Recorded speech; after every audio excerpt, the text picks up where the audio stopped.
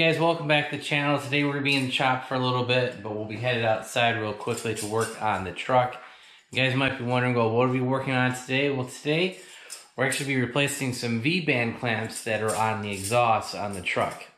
As you guys may remember, I did a engine mount swap. We did the transmission mount. We also put in that transmission brace a couple videos ago.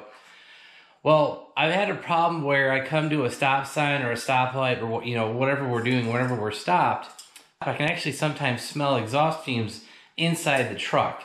So I suspect with that real bad rocking that we were having with that torn engine mount, I'll actually include a video of that here.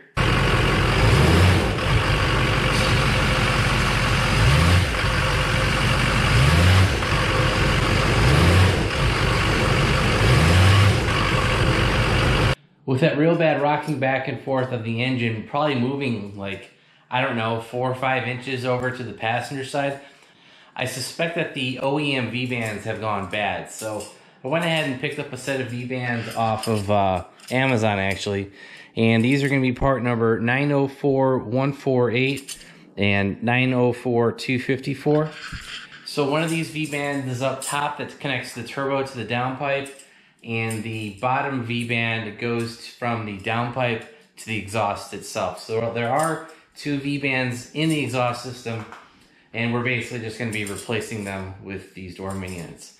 And this shouldn't take that long. The one up top, I've already had the uh, turbo heat shield removed. I actually removed that when we put the uh, downpipe in. We never put it back because it was kind of in the way.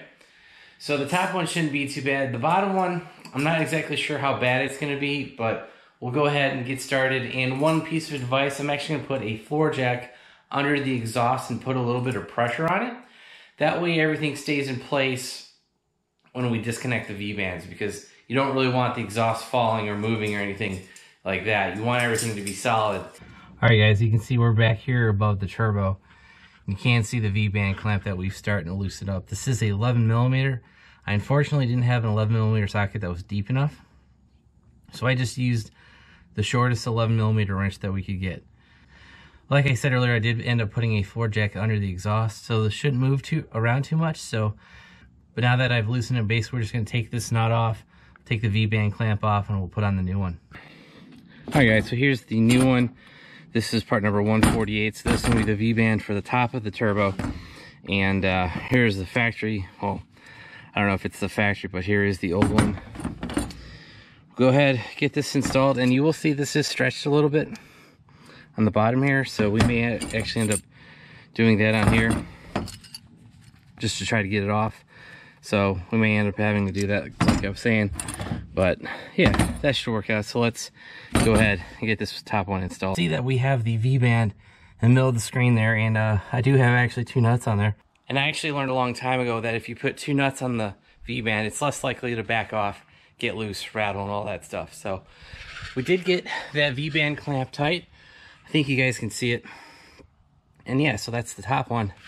All right, guys, so as you just saw, we do have the top V-band clamp installed. We got that all tightened down, so we're pretty much good to go. Now, what we need to do is actually go underneath the truck and go ahead, get the factory one loose, and then we'll go ahead and install the new one. This is our new one. We kind of already showed you that earlier. We got the nuts, the nut loose, and I'm pretty much going to do the same thing. I'm going to take the OEM nut that comes off that V-band clamp and double nut this one just so that, you know, kind of like I said, so that everything stays tight. And it's actually been a couple days since our last update. And you guys will notice I am in different clothes. Uh, the, the truck actually was quieter with just changing out the top V-band clamp. So I have a feeling that we have a bad top and bottom but I already have noticed that there is a reduced uh, exhaust spooling noise, if that if that makes sense. Like just the truck seems overall quieter since we did. I think we did tighten down that uh, bad V band clamp, and there was no exhaust leak there. So let's go ahead. We'll get under here. We'll get the old one out and put the new one in. As you can see, we did get the bottom V-band clamp in, and you can see the two nuts on there, just to make sure it doesn't back out or anything. And that's pretty much going to be it for the V-band clamp replacement. The bottom wasn't too difficult. I just had to get it up and around. There's a, a uh, I just had to get up and around the block. There's a little bit of a uh, bulge in the aluminum or steel, whatever the block is made out of. And I had to get that V-band clamp around that. And then I was able to just feed it around, tighten it down, put the uh, two nuts on it, and that's pretty much it. All right, guys, as you can see, evening is fast approaching, and we're just about wrapped up with this project. I did have a hanger. It's actually the hanger that kind of comes off the Allison transmission. There's like a bracket that connects to the back of the trans. And uh, there's actually a hanger there. That had actually fallen out at some point. And uh, when I actually tightened up the downpipe, it was actually rattling against that hanger. So I took some time. I took the bracket off the transmission, fed the rubber grounded thing back through that bracket, put it back on the trans. That's everything there is tightened up. Then I checked the top, I checked the bottom, no exhaust leaks that I can see. And actually, the kind of interesting thing is I'm actually hearing a little bit of turbo spool. I never heard that before. So, and so since that's like the first time I've actually heard turbo spool, uh, it's kind of hard to describe. It's not the normal like when you're driving and it's going like it's whistling. This was actually a little bit of a more uh, lower pitch whistle. So it's kind of kind of a little bit different. But like I said, I did check both upper and lower band clamps. I'm not feeling any, any exhaust come through. And uh, like I said, I did pick up that little bit of low end turbo spool, if that's what we want to call it. I'm not really sure what we want to call that, but and like I did say earlier in the video, we have been driving around with just the fixed upper.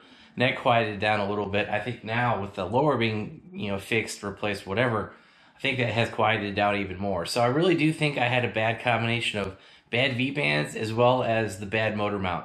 You guys already saw the motor mount video. Now you've seen the V band video, and now hopefully we just keep going on fixing these quick tech tips. Uh, this video might be a little bit longer just because I had to explain some stuff, but so that's actually be it for today's video. I hope you guys enjoyed it. If you guys want to see more truck videos, quick videos like this, hit that subscribe button, turn on your bell notifications, and if you guys want to help support the channel, check out the links down below. I'll have links to the V-band clamps, and make sure you check out our website, bonecrrusherss.com. Thanks, guys. Have a great one.